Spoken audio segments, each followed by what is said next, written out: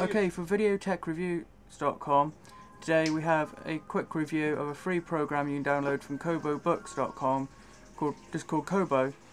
It's so that if you download any a few free books or purchase uh, books, you can sync them to your Kobo e-reader if you have one, or just watch uh, read them free here uh, on your computer. But you don't have to use this program if you don't want to if you buy a book from them. Here you have your library, which shows all the books you purchased or any free ones you've hit download on from kobobooks.com.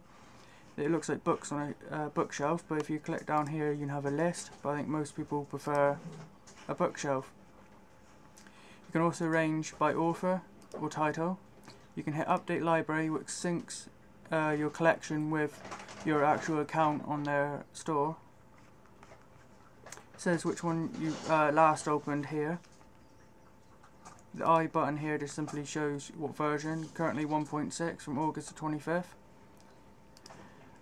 You click a book, such as, let's see this one, opens up here. You use these little buttons that show here to navigate. And if you want to view full screen, you can click menu up the top left. You can increase, decrease the font, view the table of contents, click up here again, you can go to next chapter, close the menu, or go back to your library, or down here you can actually read full screen. At first it looks like you're stuck with this at the side, but now you can close it as normal here, and read like normal in full screen, and then go back to here, exit full screen, and you're back to normal window. Click here to go back to your library. Also what's neat, instead of just being a standard reader and a reader to sync to your device, it also has a built-in shop. So you can hit home.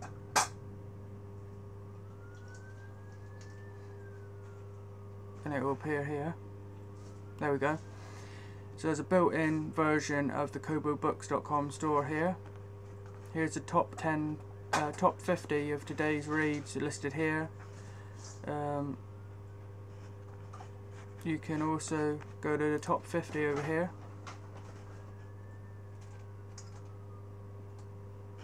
You can search for a book up here and arrange by rating A to Z things like that on this drop down.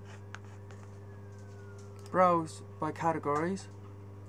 Recommended reading. Or coming soon newspapers and magazines